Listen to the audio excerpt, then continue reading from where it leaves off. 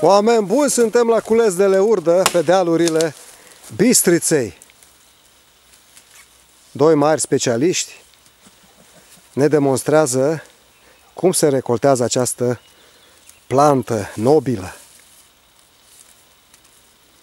pe care putem să o consumăm crudă, în salate sau în ciorbe. Este un adevărat medicament. Este un elixir al tinereții, al sănătății și al frumuseții. Tinereții veșnice. Cu această plantă, natura a făcut o risipă de talent când a creat-o. Au îmbinat niște gusturi care sunt inconfundabile.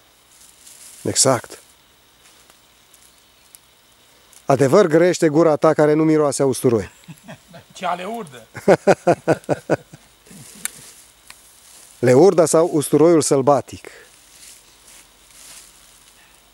Natura ca întotdeauna a fost ine, inimitabilă.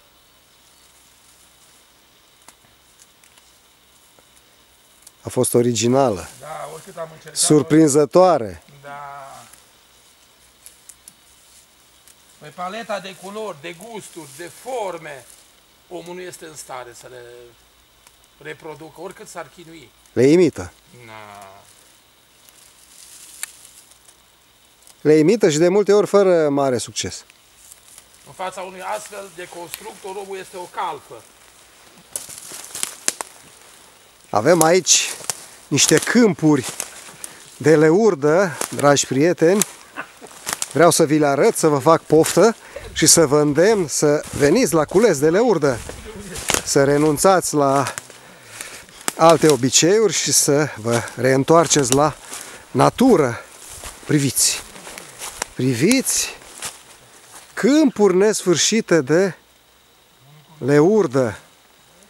Și cu această ocazie puteți vedea și diferite minuni ale naturii. Cum de exemplu este acest paltin candelabru cu nouă tulpini crescute din aceeași rădăcină. Priviți! Paltinul candelabru din dealurile Bistriței. Ahoi!